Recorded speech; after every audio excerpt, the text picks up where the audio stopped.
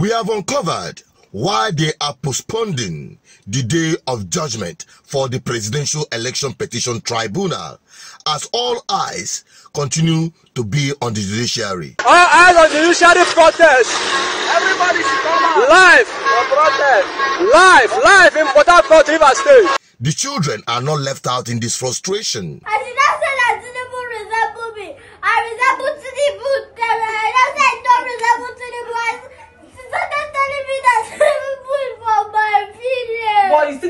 your village? You No. don't like Tinubu or what? I don't like him. I like Tinubu. And the people are asking this question when will be the judgment day? You need to watch this video to the end and help me share it to every Nigerian.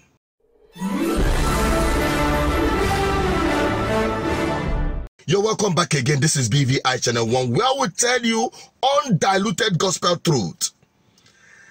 As many are putting their eyes on the judiciary to give them justice and not judgment based on corrupt technicality. The question is when will that day be?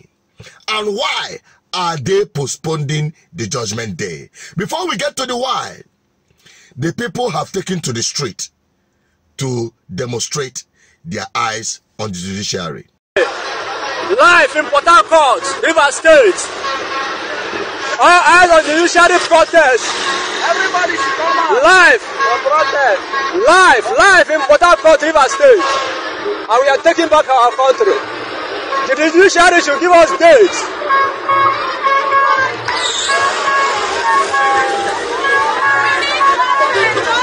Bola Tinubu is a criminal. Now so. It is happening in River State.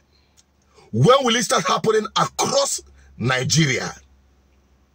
But that is not the major question. The main thing there is why are they postponing this judgment day? You must know why. Number one, they have cooked their kurukere judgment. They have written the judgment they have prepared. And I must tell you this take it to the bank. Tinubu and his handlers, due to what is happening in Niger and others of African region, especially within the West African region, that once they rail out that judgment they have prepared against Nigerians, against the constitution of this country, they know there will be repercussion and the people will rise. It will trigger the incident that is happening in other African countries in Nigeria.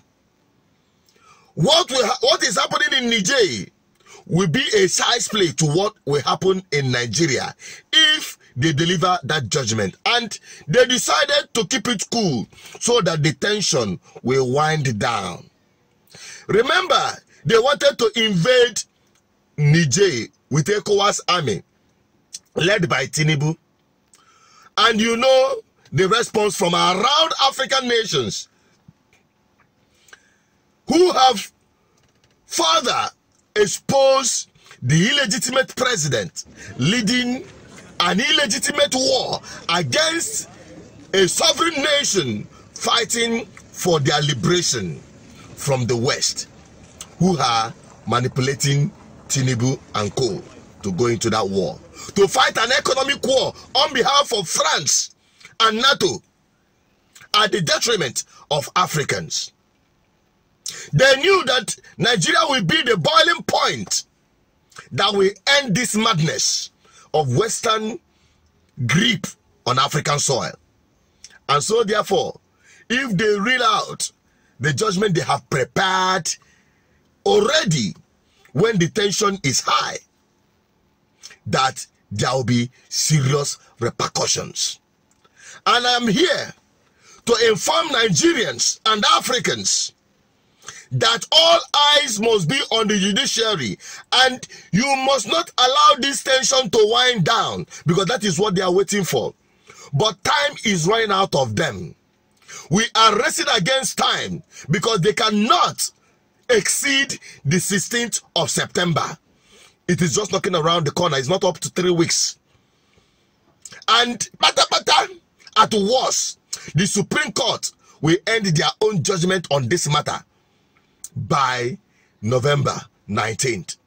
So, Nigerians, brace up yourselves. Do not allow anything to distract you. They have brought BB Niger to distract Nigerians. They have introduced economic hardship to push Nigerians to come out on the street and start protesting so that they can hijack it and introduce a situation of anarchy. They have even attempted to invade Niger to create a situation of war so that they will continue consolidating power. And they never got all of that. It is frustrating them, it is eating them deep from the inside. We are getting the report. Nigerians, hold your peace and keep your eyes on the judiciary because they are losing sleep. I am here as the advocate for good governance and the voice of the people to tell you do not allow this fire to wind down. Stop adjusting to this wickedness, this economic hardship, this impunity in the name of government. Do not adjust, do not accept it. Keep the faith alive and keep all eyes on judiciary. Share this video to everyone and let everyone be on the know. Everywhere you go, carry this message that all eyes must be on the judiciary and they must dispense justice and not just judgment, which we know always end up with technicality, shredded in corruption and impunity. Tell them I say so. Drop your comment on the comment section. For more updates, please subscribe. We want to have everyone to be on the board. Bye bye for now.